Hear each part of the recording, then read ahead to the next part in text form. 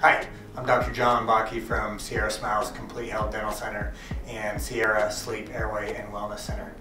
I wanted to speak with you today about the importance of sleep and how it can impact your oral health and your overall health. We have found that sleep is really the foundation of health. If you're not sleeping well, you're not going to be able to be healthy. Now, one of the things we do at our offices is we actually screen every patient for sleep.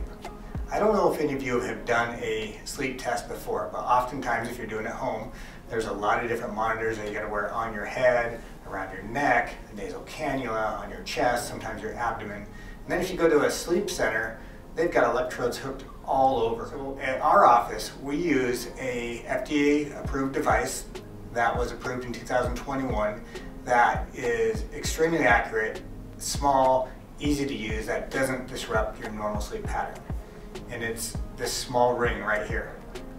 This ring will measure your heart rate, your blood oxygen saturation, respirations, and be able to put all that information together to get a idea of how you're sleeping. From there, we can go and take it to a sleep physician, and they can actually diagnose you with a sleep-related breathing disorder, such as obstructive sleep apnea.